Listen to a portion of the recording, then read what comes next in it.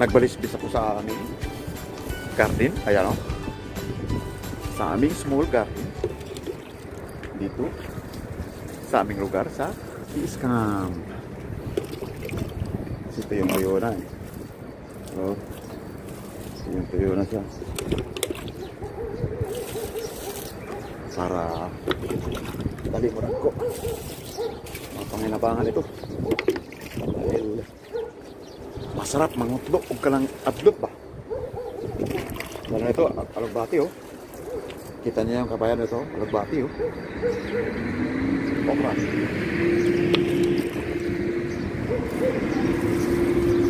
Tanglad.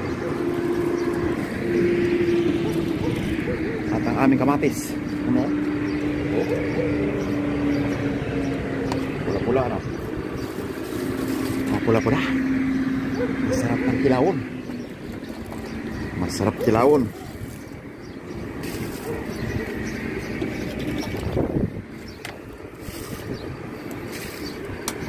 Yung aking diligan ng probinsya pa ako. Wala pa sa kalangkingan. Laki ng aming ano eh, gulayan eh. Pul, ano, pumas, ano. Yung, alam mo yung sandayong. Yung kawayan na biniak lang yung dulo. Tuloy yung dulo, lagay tubig. Kailangan tubig ito. Yeah. Hello, good morning. How are you? How are you? Very good. Today you are vlogging. Yeah. Long time. Yeah, long time, but I will go Miss Sol to eat my Okay. breakfast. Okay. Okay, good morning. How's your duty? Good? Everything is okay. Okay, thank you. Mga panggabi yun. Ang ibang lang. Kabayan, kakain naman ngayon. So, kailangan tapos tayo ko nga itong aming laundry. Meron ditong nag... Dong, ang talong! Taon! Taon! Amo na ka? Masay sudan? Ah, okay. Si Bay Ricky. Sayo naglaba. Sardinas kulog itlog ang ulam. Assalamualaikum. Sardinas og itlog. Ang sudan. Yan ang aming mino, Filipino. Kaya hugas mo pala ko ng kamay. Hindi ka mga kabayan, maghugas mo ng kamay dahil doon ako sa lababo maghugas. Sabon dito eh.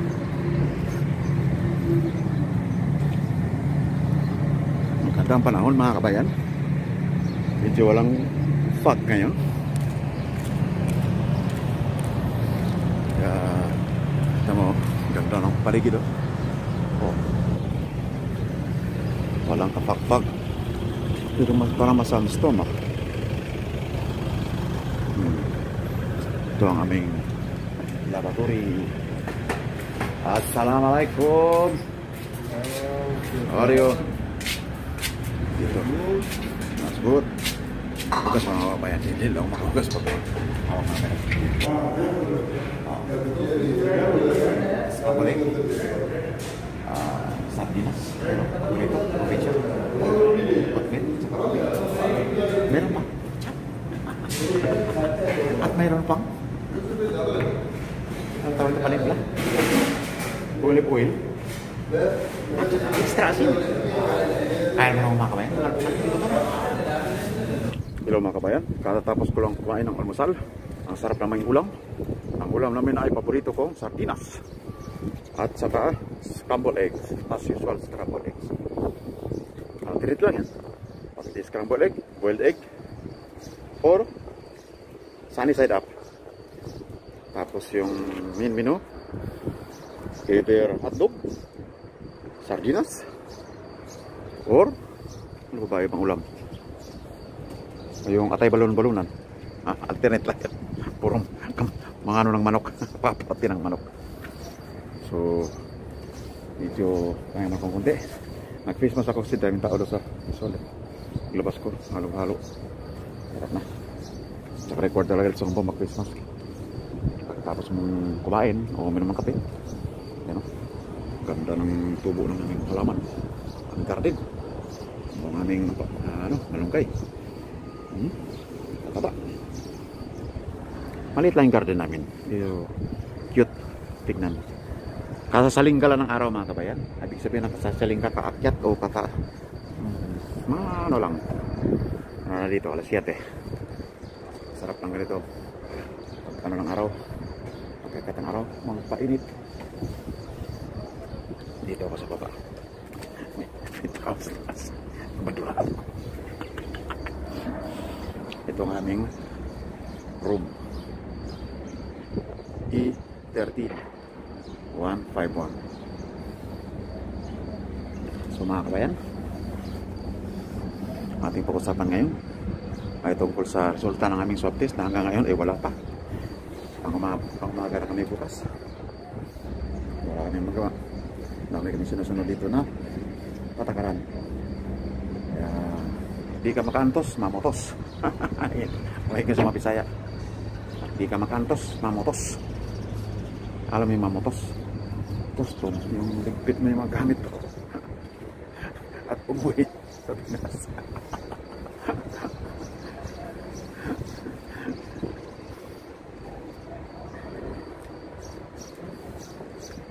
ganda lang mga pinagbalbas mga kapayan actually nung panahon ng GEC bago pa ako dito mga eh mga bago yung balbas ko. Kaya may kulay di pa ako convert ng Islam so habang nagtuturo ako nagganong-ganong ko yung aking mannerism pala yun eh yung balbas. May kulay kasi ito matigas dahil nga yung siguro sa kulay pati buko kaya ang aking supply press up pagkaroon patayo Ah, nagpagupit lang ako nakakonvert ako ng Islam dahil nga bawal sa Islam ang may kulay ang buhok. Pinukulayan mo ng full so kaya hindi ko pinukulayan ng balbas ko. Kung anong original na kulay ito yan yan na pala tandaan na ako yung matanda na so balik tayo sa tikpin to mga kabayan sabi na dyan mga kabayo Napayat ako ng konti. Ang lamig pa rin. Kaya ako naka-jacket. Kaya naman sombrero ko mga kapatid. Ayos ba? Gusto ko palang batiin ang misis ni Monts. Ni Mr. Monty. Graduate na ng master degree. Congratulations sa iyo, madam. Naway, kung nakapanood ka man dito sa aking vlog, eh, naway maging banda, di maayos ang inyong samahan, ang inyong samahan na si Mr. Monty. At eh, naway gabayin kayo kung may kapalang kayo na magandang kasama ganang buhay sa kanyang pamilya so congratulations again iyong pag-graduate ng master degree. So sarap ng ganun no? Kung meron kang pamilya na mag-graduate.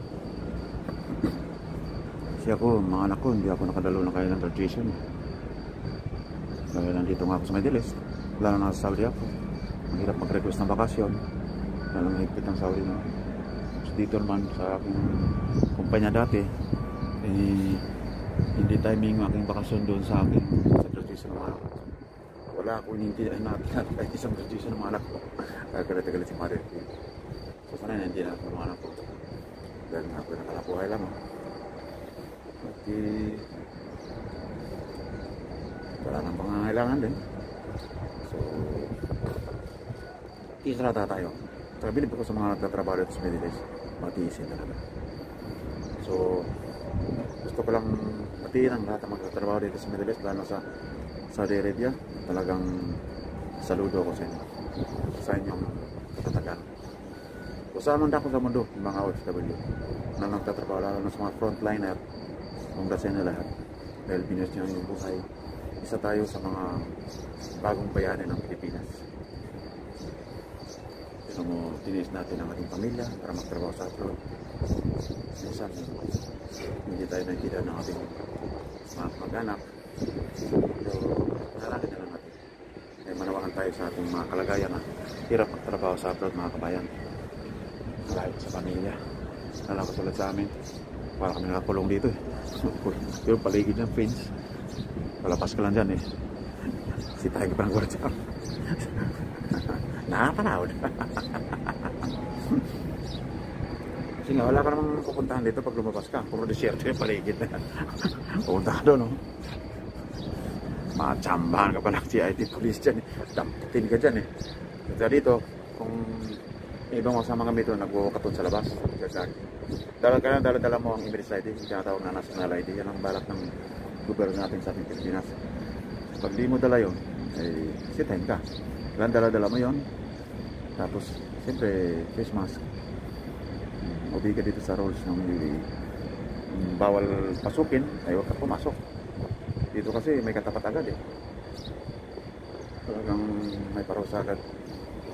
Kumbaga sa ano, may katapat na parusa sa mga bata. So mga kabayan, yan lang muna ang vlog ko sa araw nito. Away na siya ngayon. Mag-subscribe ka sa, kayo sa akin channel, John Kalit Karina. Ganun din sa mga channel na mga sumusunod.